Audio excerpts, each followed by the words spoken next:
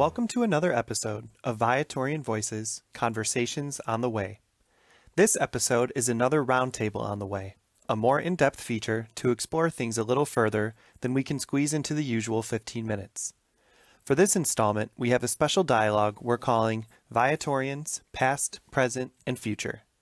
This roundtable is a one on one conversation between two Viatorians who entered the community at very different times and have served in Viatorian religious life in different varied roles, but who nonetheless share their deep Viatorian character and vitality, which shows through in this unique conversation.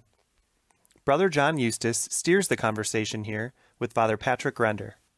Brother John, who has appeared on this podcast in a few places, is the Director of Vocation Ministry and is currently studying theology and preparing for ordination. Since Father Pat is a new voice in this podcast feed, here's a proper introduction.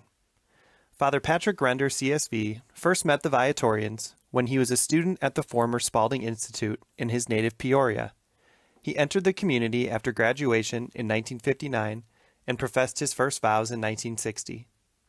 While in the community, Father Render completed his undergraduate degree at Loyola University before pursuing graduate work at Catholic University of America, Northern Illinois University, and the University of North Carolina in Charlotte. His first assignment back in 1968 was Dean of Men and Religion teacher at St. Viator High School in Arlington Heights. Father Render would remain there for 15 years, ultimately helping to lead the school as principal and president. Later, he was elected provincial superior, a role he held for two terms or eight years. Next, Father Render was pastor of St. Joseph Church in Springfield for seven years, St. Thomas More in Henderson, Nevada for 14 years, and then at St. Viator Parish in Chicago for six years. Father Render has continued to serve as a leader among the Viatorians with the Viatorian Community Council, regional committees, and as a novice director. He is now the coordinator of association and lives as a priest in residence at St. Patrick Parish in Kankakee, Illinois. I'm Dan Masterton from Viatorian Vocation Ministry, and it's my pleasure to produce this episode for you. Let's get right into this great conversation. The first voice you'll hear is Brother John, followed by Father Pat offering his first reply. Enjoy. As a person who's been a Viatorian for a few years, Yes. um,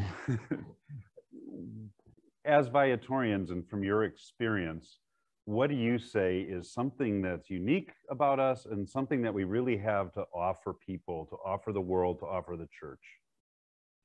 Very often I hear back from people, the, um, especially when I was in parish work, uh, the reaction that um, you, you all must have been teachers. You, your education background shows through in everything you do. You know, uh, it shows in your in your homilies. It shows in your relationship with people. It shows in the way you interact with people. Your comfort level with people.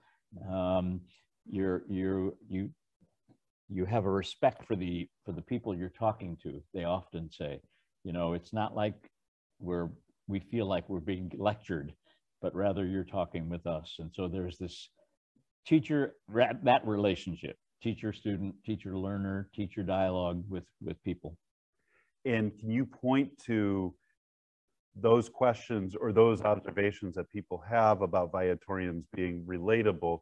Can you point to an instance or two where you can say, yes, that is true, and here it is? Well i certainly heard it when we were when viatorians were leaving and withdrawing from several of our parishes. One of the things that people lamented the most was that they really have appreciated that piece of what we brought to parish ministry as pastors, as associate pastors, as principals, um, that they they don't find that necessarily in other leadership, uh, and and they find it heavily in us, and and lament that as one of the things they're going to miss. So, in your own experience of being a teacher, being a principal, being a pastor, being in leadership in the community, what are some of the unique things that you have brought forward that you would say, this was Viatorian as I brought it into how I approached ministry or how I walked with people? building up communities. Um, one of the things that people identify often with us is the spirit of community that we create and that they experience in our schools or in our parishes. Year after year, I hear that many times Um, there's a there's a real sense of welcome and hospitality and of community here. We all, even though it's a big parish, you feel like you belong. You feel like you're connected. You know, you feel like something has happened. So I think that that dimension of what our mission or how we speak of our mission, even maybe unconsciously, um, we go all about that. And I noticed it in my work with diocesan priests. I was the dean out in Las Vegas uh, for about nine years. And people would say to me, you, you, you run these meetings differently. Uh, it's different in this deanery. You, you guys create a different kind of atmosphere or something in this deanery. Um, it's inclusive. Uh, it, it involves other people. It's respectful. Um, it's more of a sharing than it is an agenda. Uh, and so the, the, building of community, I think, is really one of the characteristics that I think is, is very visible and very evident from us.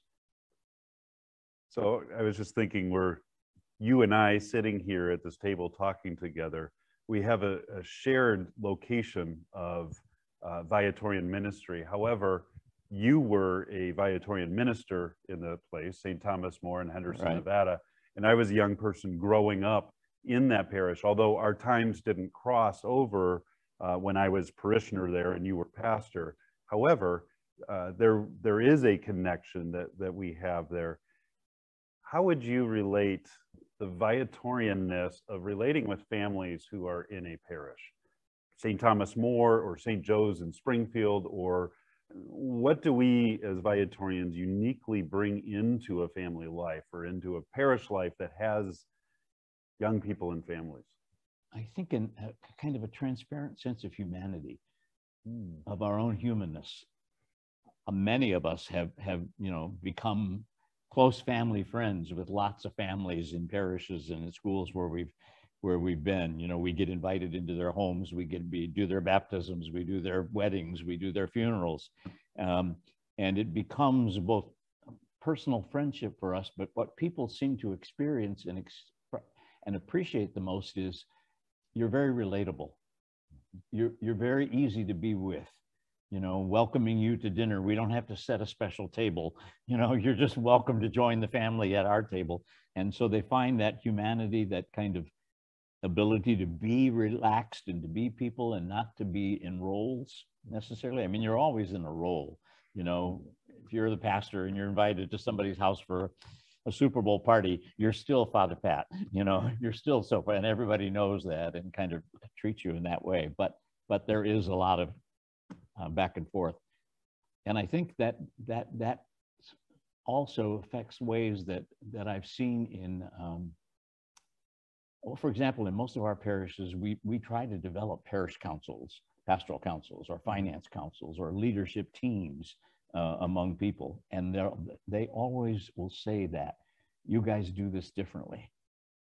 You, you, you show a genuine respect and interest in us and our opinions, our lives, our backgrounds, that kind of thing. Uh, and so it, it's, it's not a conscious effort on our part. It kind of, it's in the genes yeah we we live it we breathe it yeah. it's in our bones yeah exactly. Um, exactly in my experience at st thomas more as a as a kid growing up there first was youth ministry well they did youth group nights yeah uh, but that was instigated by parishioners uh, who went to the pastor to say hey we really need to do this and the pastor said of course go and then it developed into a robust program uh, for a while it was life teen uh, eventually, when I was in college, I volunteered and I was a, a core team member, and that's where it, it whet my appetite to work in youth ministry, and eventually uh, getting me connected with the Viatorians. And then it was as I was joining the Viatorians, you came there. What was right. your experience of that youth piece? Oh, it was wonderful. It was magnificent. Um, it was the strongest, most vital, viable youth ministry program I've ever seen there were there was some caution, I think, about Life Teen because it had a reputation, it had an image a little bit. But I found that the people who were doing youth ministry at our place were very aware of that and very conscious of translating it and, and transforming it in some way to meet the needs of the kids. The years that I were there, Ken Rosania started, you know, he was the youth minister for a number of years. Uh, and then uh, his associate was Amanda Dwyer, who had grown up in the parish and been part of Life Teen. And he hired her as his associate. And um, in subsequent years, I married her and her husband. And then as a team, I was there at that wedding. when, yes. the, when Ken was uh, no longer doing that ministry, her husband Steve and Amanda took over as a couple and led the youth ministry program for the whole the whole time I was there even beyond for a couple of years. And it was it was remarkable. It was it was one of the most dynamic parts of the parish. But I would add the the the preface to to youth to the life teen was more youth and that's junior high. And Dorothy, the lady who ran that and her core team were magnificent with kids.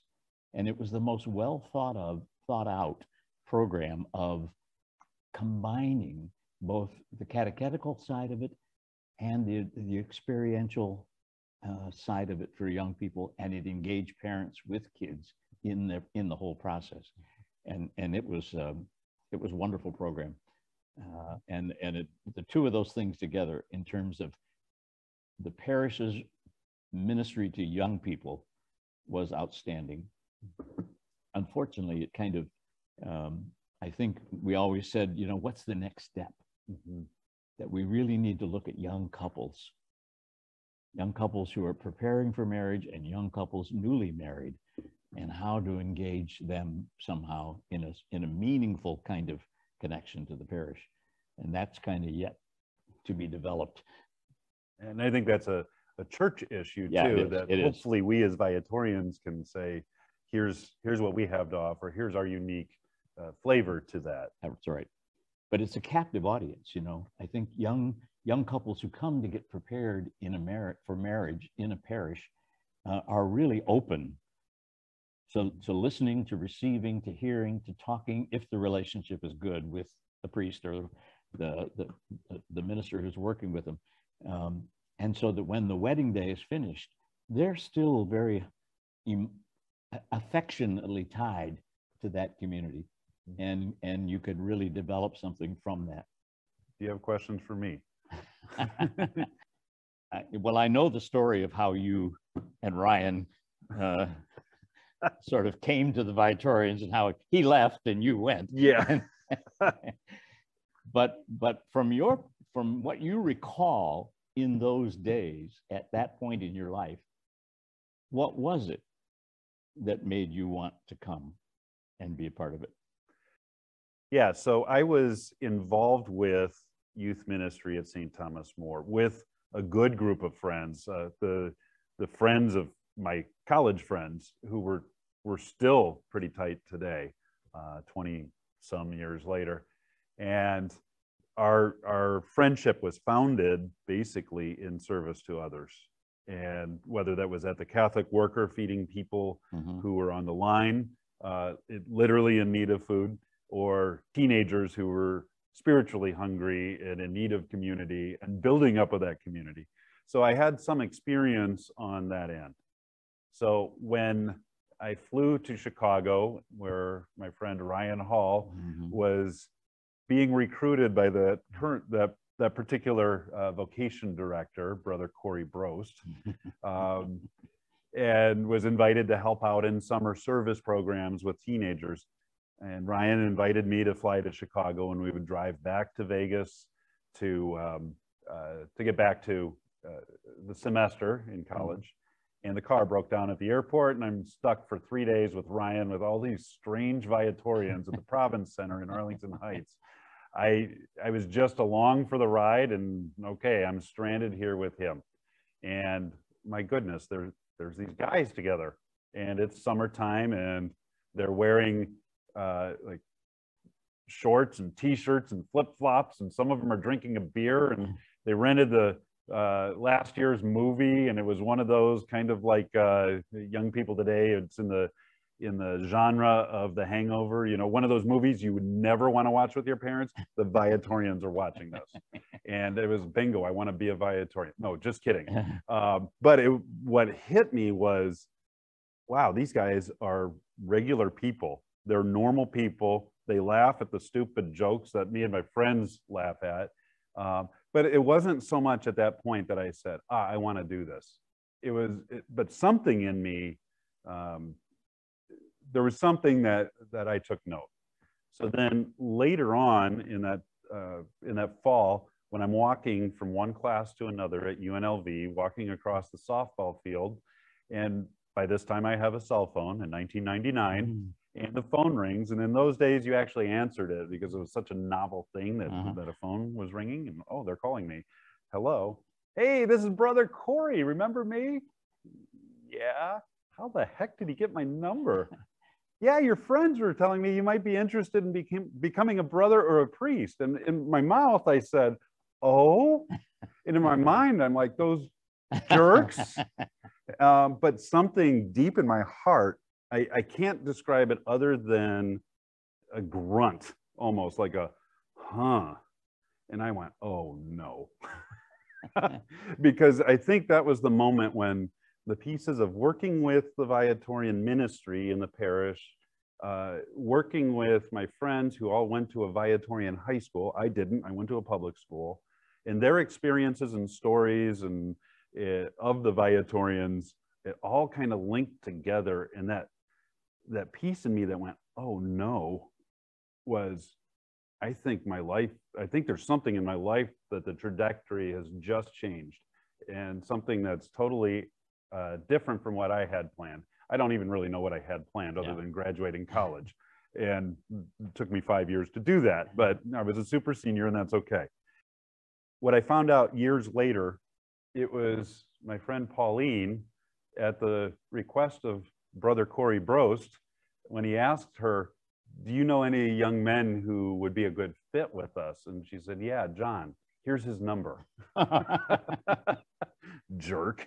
Uh, but I, uh, I'm so glad she sold me out, so yeah. to speak, because she saw something in me and knew me well.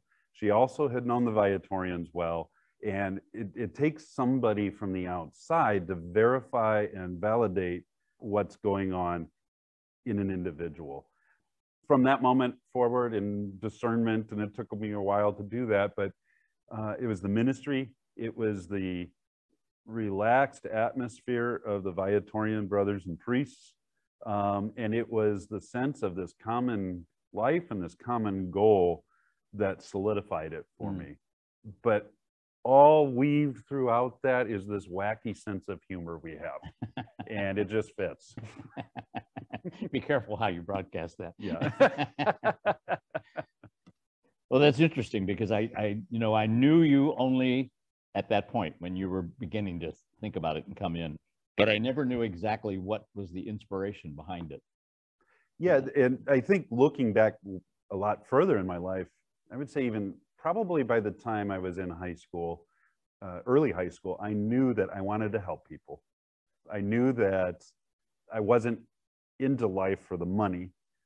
I didn't know how that was going to manifest. Yeah. So when I went to college, I said, well, okay, I like I like to help people. I know I'm pretty good at working with young people, so well, let's just do elementary education. There wasn't a whole lot of discernment in it, but there was something deep down in there that I was listening to. And by the time mid college comes through, the the pieces finally started coming together. Yeah. Yeah. Interesting. Yeah. Interesting. the pattern of how that works is very interesting. Uh, I went through a Viatorian high school, and so I really liked a lot of those teachers, particularly the young brothers who were fun. you know, they, they horsed around with the kids, they enjoyed the kids. Tom Langenfeld was a young brother, and he spent his lunch hour sitting at our table having conversation with us. So that kind of connection, that kind of relationship was there but my family, uh, I had an uncle who was a diocesan priest and an aunt who was a nun, and they would come home and visit and all that kind of thing. Um, and so there was a culture that was there already in my family. And um, I sort of thought and felt inclined in that direction. But all my peers in high school, oh, Render, you're going to be a priest. Oh, we know you're going to be a priest. You're probably going to go to those Viatorians and then the vocation director would come and get on the school PA and call the names of the people he'd like to see down in the office. And you just crawled under your desk and hoped to God he didn't call you, you know. I should try that tactic. so eventually he um, he did call me, and I went down and talked to him. But he brought me up to Arlington uh, to what was then the novitiate. And my uh, one of my best friends, junior year, had left after junior year and joined the Viatorians. So I, I had a great weekend with him and with his peers at the at the Province Center. Came home having had a good experience, but not necessarily seeing myself doing that. And I'm riding the bus home from school one day, and the bus turns this corner by the hospital, and I'm thinking there, and all of a sudden, you talked about a grunt. And I jumped in my seat and said, I'm going to join the Viatorians. Wow. Where did that come from? Exactly. Exactly. You know, I wasn't knocked off my horse. It wasn't one of those kind of things, but it was a physical, Yeah. a physical jarring. And it was perfectly, perfectly comfortable and calm. You know, there were days later and years later that I thought, am I, should I really be doing this or not? You know, but, but it was that kind of experience. It's, it, it, how did you arrive at that? I don't know. You know, how do all the pieces Yeah. fall together like your story? I don't know, but, but I think it's, it's an interesting pattern to, to remind you of when you're talking to other people, young people, about what am I going to do with my life? How am I going to discern what I'm doing with my, whatever it's religious vocation or career? You know, I've talked to lots of young people about career. What are you going to do? How many kids go off to college with some vague notion? How many times they're going to change their major three times in college, you know, and still not know what they're going to do? And, and so it's, it's that kind of being willing to walk the, the natural path and kind of let the pieces fall into it that, that I think helps. It- so there's a little bit more to the story of that that uh, uh, that grunt from within. Uh, after Corey asked or said that to me, I uh, he invited me to go to a vocation come and see weekend. I was like, fine, let me kill this thing that's inside of me. We'll go to this vocation retreat and we'll, we'll it'll be we'll be done with it. And I go there and it went from a huh to a huh. I was like, no, stop that. And then I was invited in the summer to help out too on a, a retreat for young people and service immersion kind of experience. And it basically turned into you better check this out. Uh, and I would describe it as, uh, you know, like maybe you leave home one day and you're going to the office or you're you're going to school and you're out and about and you have that question did i leave the garage door open? Or uh, is the front door unlocked or did i leave the oven on? One of those nagging questions that there's only two ways to find out. Number one is hmm, maybe i better drive back and take a look and, and ensure it. So i need to go there myself to see it or i call somebody to verify. Well i think that's part of discernment Yeah. too. I, I think this calling or this god's invitation piece is the garage door hanging open. And i probably need to check it out myself but i also need to lean on others. Mhm. do you have others or have you had others to uh, to do that verification for you or to bounce things off of Not so much then at that time. I mean, my peers all had it in their minds that I was going to be a priest, you know, and that, that they had all they knew it you know, before you did They knew long before I did, but it was sort of a mocking, teasing, you know, put down kind of thing. Um, but I think later in my life, um, that's a good question because I think there are points along the line where you, you're really tested. Is this the right path? Is this the right way to go? There was a point in my seminary years when I really was really questioning whether I should continue. And um, my dad happened to come to town that night. We were in Washington, D.C., and he came out on a business meeting, but we went to dinner. And I kind of confided in him that I was having these doubts. And contrary to his nature, he didn't give me a lecture, which is what he would normally have done. He began to tell me about what it was like for him when he was my age and he was thinking about marrying my mom. Hmm. And it was fascinating. He had never let me into that side of his life at all. Uh, and all my doubts went away. And I continued on. Uh, and then many years later, I think um, after I had finished in leadership with the community, um, I went away for a sabbatical year. I had been already now in religious life for 25 years. And the question was, okay, you've given 25 years. Is this going to be your whole life? Hmm. Or is there something else you ought to be exploring? And so I went through a whole nother process of researching that again in my soul uh, and with the help of, of other people. I, I find it interesting that your vocation, especially with your talk with your father, or your father's talk with you, I should say, Yeah. uh, was verified through somebody who had a vocation of marriage. Yeah. Is there a, a correlation between marriage and people who are in religious life? Oh, I think so all the time. I think so all the time. You know, I became a father to kids at St. Viator High School for years and got Father's Day cards from kids, you know, you know, for whatever role I played in their lives, whatever time I spent with them. Um, and so that parent piece and children, and then I did their weddings, and then I baptized their babies, and I've done all that kind of stuff and walked that whole piece with them. I, I could see those dynamics. Uh, the relational, not certainly not the same kind of intimacy from marriage, but the relationships of friendships that develop either within community or with other people because you are who you are as a religious. You bring something to that relationship that is different than they have with other people. And that sharing of intimacy becomes a really life-giving part of part of your your vocation. One of my best friends was a teacher at St. Viator High School, but was not Catholic. Was married to a Catholic, had all his kids baptized, raised his kids Catholic, went to every first communion, every confirmation, did all that kind of stuff. And one day riding in the car, he said to me, okay, what do I have to do to become a Catholic? and we did the RCIA on the second half of the trip. and he made his profession of faith when we got back to St. Thomas More. and he gave it to his wife as a gift on her birthday, Wow. the certificate that he had become a Catholic, you know. So it's it's all of those. It wasn't because of who I was personally, but the fact that I happened to be representing the church and Catholicism and all that kind of stuff. But it also been very part of his life that the two came together.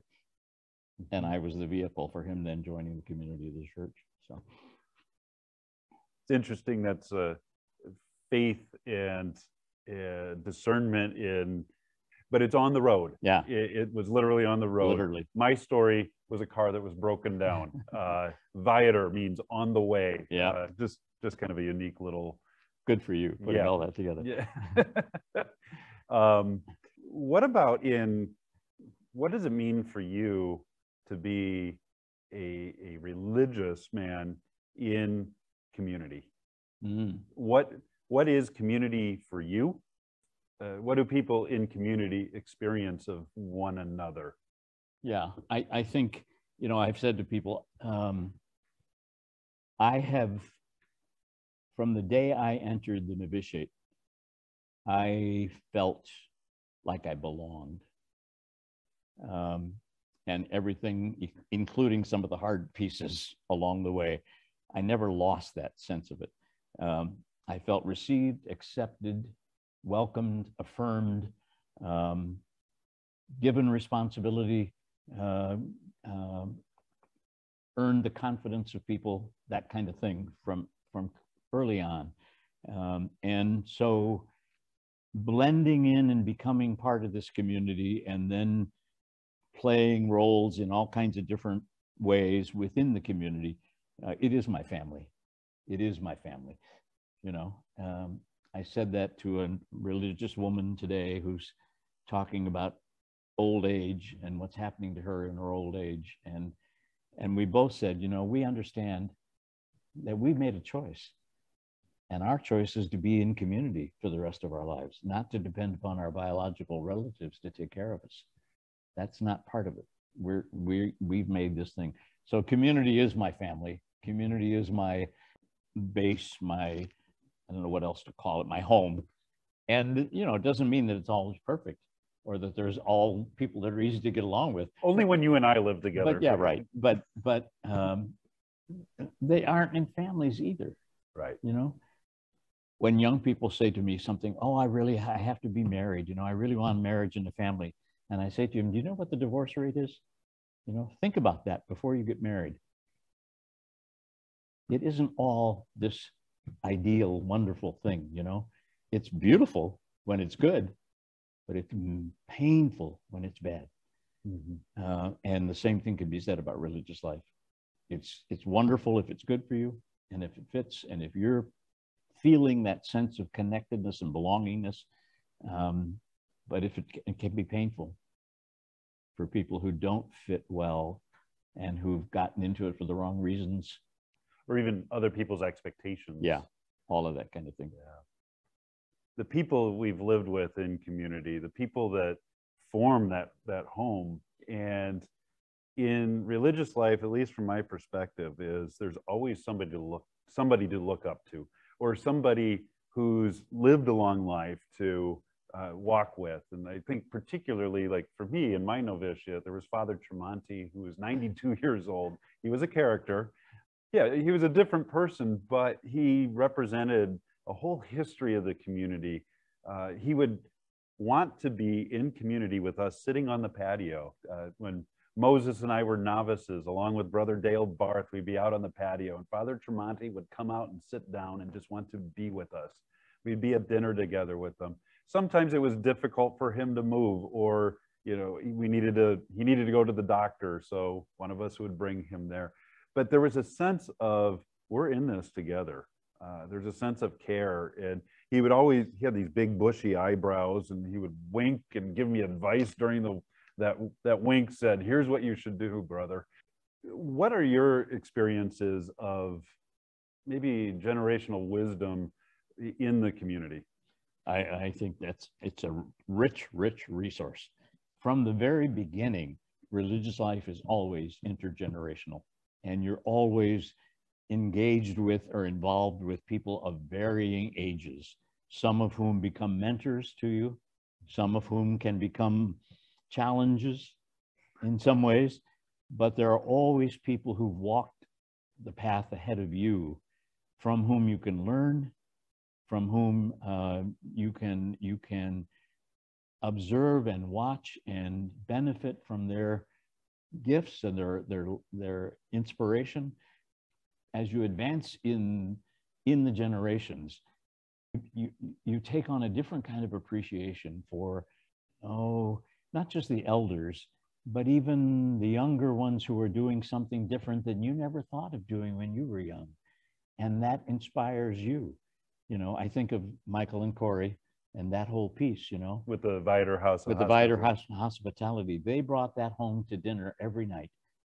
And that was the most stimulating piece for me as a pastor you know, a worn out pastor who'd been a pastor for 27 years, you know, and was had seen it all and done it all. But here's the young guys in our community who are doing something that's really exciting and really new and different and in, invigorating and revitalizing me. Uh, and so I think that that mutuality happens all the way along the line. And it's very different for each, each of us. It's different people uh, people, different people come to us. And I remember we asked that question one time. Who are the giants? Who are the giants in the community for you? And every person named somebody different. And so, it, and the, and the reasons why were fascinating. So it's, it's, yeah, I think that's really a rich, it's a rich part of it. It's there in families, but you, you're not exposed to it every day. Right. You know, your grandparents are there and you see them a couple times a year, or maybe your grandma lives in the house with you, but it's not the same. Here, it's it's morning, noon, and night. You're intergenerational in everything you do, in every facet of your life, and that's a difficulty sometimes, but more often it's a richness. Just a, an anecdote. When I was a novice, uh-huh. uh, Brother Dale Barth and Moses and I would drive from Kankakee, Illinois, up to Arlington Heights, which would be about an hour and a half. Uh, but whenever we come to a stop, Dale would put up his hand and say, Whoa, Emma. And okay, he did that every single time. Finally, I go, Dale, what are you doing? And he said, Well, Father McCormick, when we when I was in the novitiate, I think you had uh, similar experience with Father McCormick. who was a hundred or a hundred and two or something. like- hundred the year I was a novice. Yeah, so Dale would have been hundred and two. They'd wheel him into the chapel in the choir loft, and when they would stop, he would say, "Whoa, Emma." Well, Emma was the novitiate horse uh, in Bourbonnais way back when. Uh, so I thought it was kind of an interesting passing on of tradition Yeah. from 1870 Something. 70 something all the way through somebody who joined in 1960 to somebody who joined in the early 2000s. So Right. Emma was still present. I don't know where Emma ended up, but uh, the the tradition is there. Right. And there are those kind of traditions. I mean, that's a humorous one, but there are other kind of traditions that that are lasting, and you can kind of see it in the legacy. You know, um, I had the good fortune of two of the parishes where I had went in as pastor. I had followed a 60, 70 year history, 80 years in one case, 120 years in another case. Viator you know so so all the legacy and the people knew those other viatorians who preceded me and they would talk about some of them and they would tell me what they you know they remember father sullivan because he knew everybody's name he by con- communion he could call you by name when you came to communion you know that kind of thing and they remembered those pieces um, and so it it it, it kind of um, it, it, it gave me a sense of pride and I've had a similar experience with that, but in a more modern day sort of uh, context. We had a the Day for Consecrated Life in Chicago, where in the Archdiocese of Chicago, there were like six or seven hundred religious men and women who gathered at this big parish. And we went from the conference time and we were going over to Mass. And there was this sister who said to me, I, I was dressed in regular clothes. She says, Oh, what community are you with? And I said, Oh, I'm a Viatorian. She goes, Oh, you're the community that works with the immigrants. Good job. Now, at that point in time, if somebody asked me, who do people identify the Viatorians as, I would have said, you know, people who work in schools and parishes and have a focus on young people.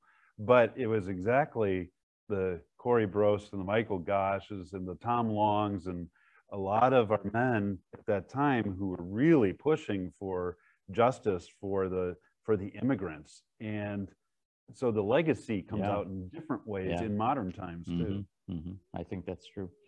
for me, uh, coming into the community, joining the community in 2001 as a pre-novice. At that point in time, we had five lay associates. Um, and so I joined the community at a time, my whole memory of the community is a community that has associates. Um, so that's my whole context coming in. However, I've been able to, to see it develop um, as my discernment, as my uh, path on becoming a Viatorian was emerging, so was the life of the associate. And I kind of talk about it as we grew into this together. Together. Um, so my frame of reference is only with association, and it's been a positive experience. And mine has been different, obviously, because there were no associates for a good long part of my history of the community. But what uh, what it, the genesis of it for me was much more about our experience of working in schools, because very quickly working in schools, the the professed religious became the minority, and the lay faculty and lay administrators became the dominant pool of people who were who were serving in that ministry.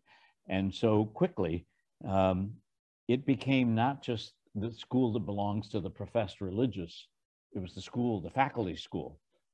And so picking up somehow in helping helping prepare the lay faculty to get the mission of a catholic school and to really take it into their blood so it became cellular in them.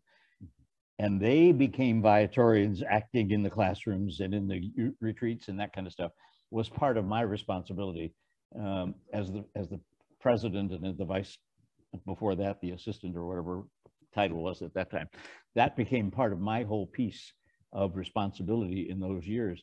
So that by the time that was happening in all of our schools in the early 70s our annual gathering was a gathering not of only of the professed religious, but of all the people who were our partners in mission and in ministry.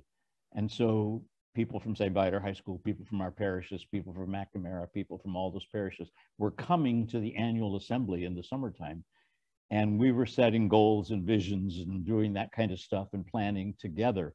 So it was a transformation happening within the natural life, the province, that when it came time to move to association, the groundwork was already there for most of us. It became more difficult for some people to begin to understand that membership in the community could be broadened beyond just professed that there could be other ways of being members of a, of a community and associate members uh, you know in the early stages they were the youngsters and Mhm. that kind of thing but after 25 30 years you know they've become kind of the leadership of many ways of the Viatorian community. And some of that has been deliberate, but I see it as the as the future. No matter how many or few professed religious there will be, the far greater expansion of the Viatorian charism mission will be carried by lay men and women into a variety of places in the world that may or may not be Viatorian institutions. You know that they will they will be doing it in all kinds of ways and carrying it out further. And that's the real gift i think of association. It's not just to have partners in the community. It's to have a whole new body of people who have assimilated viatorian charism viatorianism and who are now flesh and blood viatorians out there in whatever they're doing and are carrying out that same mission in a variety of ways and that's a model for the church Mhm. that that I think really captures the spirit of um, the church in the world. You know, it's I used to be offended when people would say the role of the priest is to take is to feed the church internally, but the role of the people is to take the church out into the world.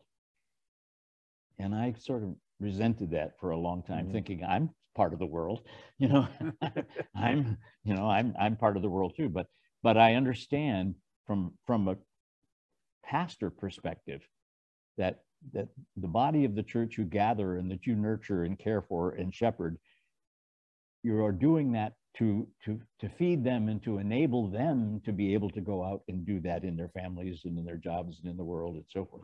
And it's that linkage that's important. And I think for the associates, that's really an important future for us. You and I have had these conversations, though, about other ways besides association Mhm. for the, the Viatorianism to be absorbed and taken out. And I, you know, I think Charlie Bolzer and people at St. Viator High School call those kids Viatorians years ago. And they call themselves. They call Viatorians. themselves Viatorians and, and they get it Yeah. and they understand it. Now, some of that dissolves as they move on and move out of the school and other places in their life, but they never forget that that history, that place where they were nurtured in that. And you'll see it in the alumni oh yeah. who come back faithfully and talk about that. Well, two of our pre-associates right now from Arlington Heights, they both happen to have the first name of Jason, uh, but they're uh, they're also uh, working at the school, and they also feel a deep connection to to who we are, and not only admiring the work we do, but have realized that they themselves have been doing Yeah. doing the work, but. See the value of being in community Right. and doing the work in a unique way that Right. that is from a lay perspective. Yeah. And I've said that in some of these recent regional meetings, you know, that that circle of people is broadening. And I think the, the experience of Viator House hospitality, which depends upon volunteer people who come in and enable those young people to find all kinds of things, whether it's just driving them to the bus mm-hmm. or, you know, tutoring them or whatever they're doing, they have picked up on the mission and they are participating in it and some of them not Christian necessarily, but they admire the mission Mhm. and they feel they belong. It belongs to them. They're a part of it, and it inspires them. Uh, and so that's the perfect. It's like a lab, you know, a little laboratory going on over there. You know, where we're we're we're nurturing a whole new spirit of what it might be to embrace Viatorianism and, and to carry that forward in, into another rank, other circles of people and circles of belonging, connection, and all that kind of thing. So I think it's kind of exciting. Well, you know. one of the one of the places where the dynamic interaction among uh, Viatorian associates and vowed religious happens. Uh, we've done it 10 times now. We're getting ready to do our 11th one in St. George, Illinois, out in the cornfields, but the Viatorian Youth Congress. Mhm. Uh, this is, for me, it's one of the most energizing times of ministry, partly because there's young people there. Uh, obviously, with it, that's the focus is Yeah. youth. But having 10, 12, 15 Viatorians working together on a common project, being able to laugh with one another, uh, be ourselves in front of all these young people who maybe come from a small parish out in the cornfields, or might come from a big suburban school, or may come from an urban parish setting on the busy corner of Eastern and Flamingo in Las Vegas, come together and experience this dynamic Viatorian charism happening through people. And then these young people leave the VYC going, there's something there, there's Mhm. community, exactly what we were Mhm. talking about at the beginning. These are the Viatorians build up this community and we're a part of it and we want to stay connected. Mhm. And so there's something between young people who have been at the youth congress or young people who have graduated from our schools or young people who've been part of youth ministry in our parishes there's something there that they and can identify as i i want that or there's a piece of that that's a part of me um, that i want to live out my life doing now whether or not they become an associate Yeah. or whether or not they become a, a vowed religious that's that'd be great but the bigger goal is you're on fire send it out into the world That's right. Uh, it's That's right. it's exciting to see that Yeah. and i don't think that's possible without associates because they bring another piece of And they bring the witness of ordinary people, yes you know, not celibate people, not not those guys, but there's women, there's widows, there's young women, there's all kinds of people who are modeling Viatorianism and living it and showing how to do that in other ways. I, I, just I see that it's like waves, you know, and, and that kind of thing. There's the first wave is was the professed and, and that sense of religious life and who carried the mission for a hundred and some years. But now it's been expanded, you know, and then it's going to go bigger to another wave and another circle of of of, of people who can carry that. And I- I find that fascinating and and um, kind of exciting for possibilities in the future.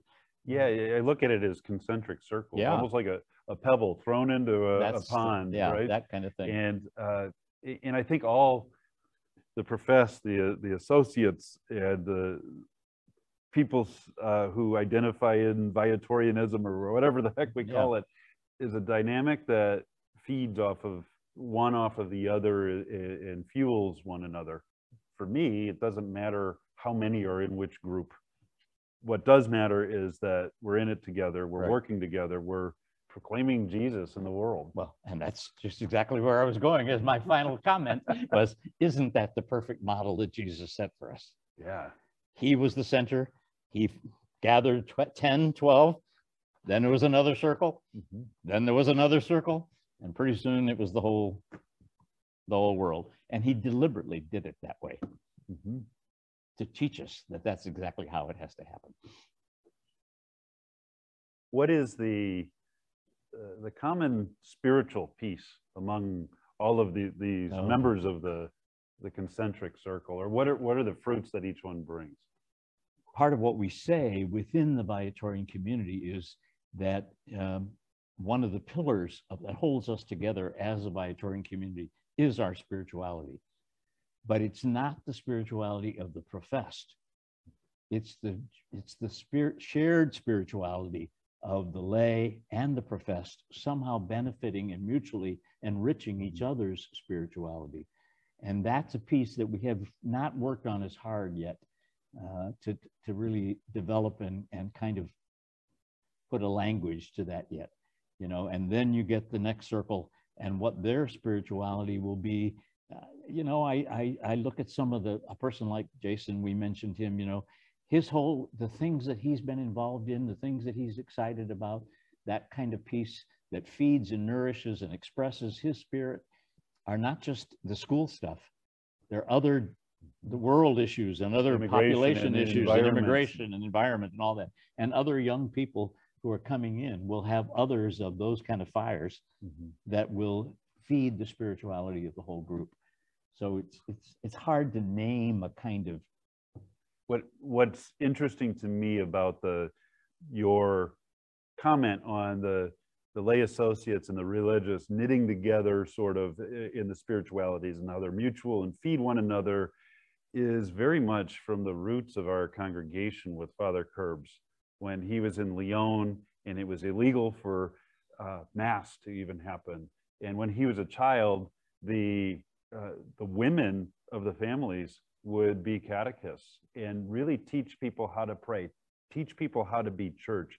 And that was his experience of learning how to be church. Mm. And it's fascinating that that is kind of the hallmark. Maybe we aren't able to have a language to identify it yet, but that's apparent in how we are as a, as a spiritual body, as uh, committed Viatorians, whether right. lay or yeah. with CSV after our name. Mm-hmm. Mm-hmm. We understand yeah. mission, mm-hmm. and we kind of are working pretty well together in terms of community but it's the spirituality component, that pillar of the Viatorian community that still needs more attention. Mm-hmm. And it's not just all coming together to pray together or to say to attend mass together, you know. But what we find in our experiences of the assemblies, when the associates have prepared the prayer, it's really it's powerful. and and it feeds all of us. Mm-hmm. Uh, and the the professed are kind of humbled by the creativity and the imagination and the depth of what these women, happens to be women, are, are putting into this prayer mm-hmm. and creating this prayer. And drawing out of us. That same thing. So I think that's where the, the mutuality, you know, is is is going to bear fruit yet to be determined.